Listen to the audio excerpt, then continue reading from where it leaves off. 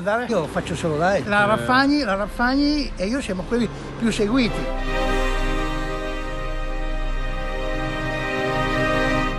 Mauro e il suo accompagnatore sono appena giunti nell'hotel dove il casting avrebbe avuto luogo. Per raggiungere la sala d'attesa scendemmo due rampe di scale che avremmo risalite certo non senza fatica viste le condizioni di Mauro. Dentro la stanza molto grande ci saranno state all'incirca 50 persone e in fondo una lunga scrivania presieduta dai signori della produzione, i quali davano l'impressione di svolgere più mansioni di quante avrebbero potuto eseguirne compiutamente. Presi coraggio, varcai la porta d'accesso per fortuna lontana dal tavolone e coperto da lieve trambusto tipico dei posti affollati mi sedetti in disparte sulla prima poltrona disponibile.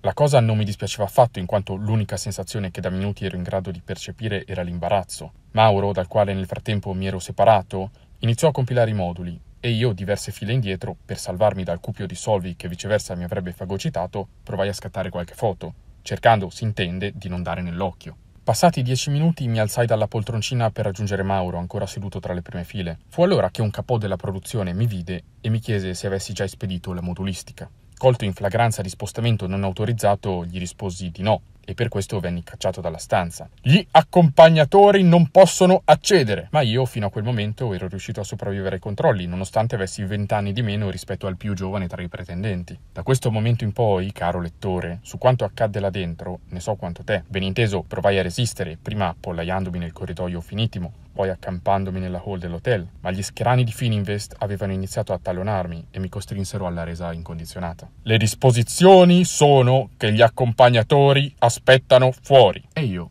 ossequiente, attesi per circa un'ora. Appena usciti dal casting, le dichiarazioni a caldo.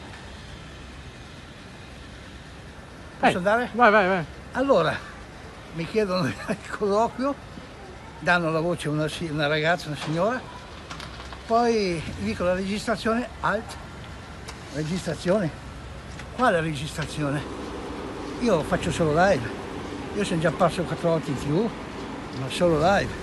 E i miei video sono live senza interruzione, senza pausa, trasparente, io sono trasparente.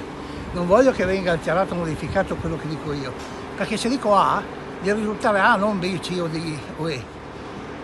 Ah, fa, lei è contra- sì, sì, sono contrario. Si può provare, perché può anche darsi che magari mi piace. Si può provare, fare un esperimento, fin per carità. Ma io, cioè, non è che non sono conosciuto. Come youtuber sono uno dei più cliccati, non il più cliccato ovviamente. Ma sono Perché dei c'è prima la Zaffagni. la eh, Raffagni, la Raffagni e io siamo quelli più seguiti. E abbiamo, cioè io ho un bel numero di visualizzazioni, ovviamente la Raffagni ne ha di più, è più popolare di me, col fatto che è la, la- la moglie di Fede, insomma.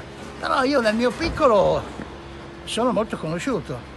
Certo. Vabbè, quindi è, divo. andato bene il... Ma io eh, ho cominciato a prendere in mano la parola io e quello che mi faceva l'intervista è rimasto un po'. Ho detto questo cacchio ha pensato, ma mi ha mandato via subito perché ha visto che Loquace. sì, io in, in poche parole ho sintetizzato il tutto e sono andato a- ad obiettivo subito.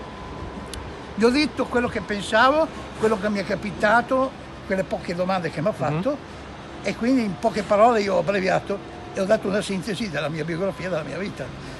E pro- secondo me avrà pensato, secondo me, no, poi non lo so, magari mi sbaglio, che ho dei numeri da poter andare in, tv. A questo punto l'autore della lettera fa una lunga digressione spiegando le ragioni che lo hanno portato ad interrompere così bruscamente la registrazione. Noi però le ometteremo passando immediatamente alle sue considerazioni circa le parole che Mauro ha appena detto. Ero convinto che sarebbe andato tutto bene e che certo un personaggio come Mauro, quelli di Mediaset, non se lo sarebbero lasciati scappare. Subito non capii la gravità delle cose che mi stava dicendo, che odiasse le trasmissioni registrate, che l'intervistatore gli avesse tolto subito la parola. Erano frasi foriere di un suicidio mediatico. Soltanto parecchi mesi dopo, quando io e gli altri apoti ci arrendemmo all'evidenza che nessuno si sarebbe fatto più sentire, realizzai la portata del disastro che si era compiuto.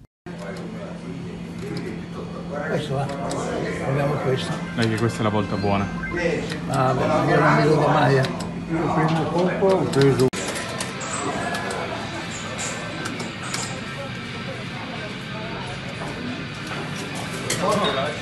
I due, prima di lasciarsi, bevvero qualcosa in un bar. Mauro si dimostrò anche in questa occasione molto generoso con il proprio psicopompo, come del resto è lui stesso a testimoniare in questa lettera.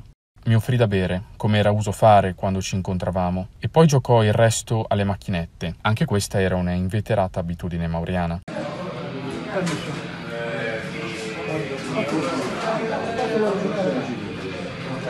No, no, sembra organizzato. No, io pensavo che quindi. Questa occasione però fu particolarmente divertente per via di un piccolo conciliabolo che egli ebbe con un altro avventore, forse ludopatico, in merito ai diritti di prelazione su una macchinetta dalle fattezze muliebri.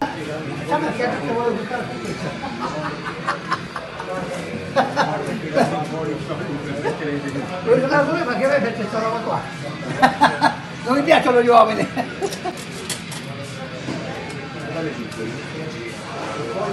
Anche se è un gioco, però voglio vedere delle, delle femmine.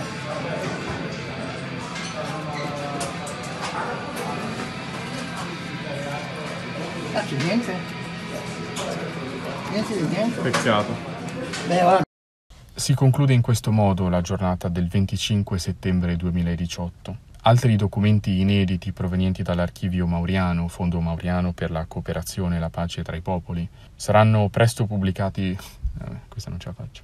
Saranno presto pubblicati su questo canale. Se il video ti è piaciuto, iscriviti e vattene a fanculo, come direbbe Mauro. Ciao.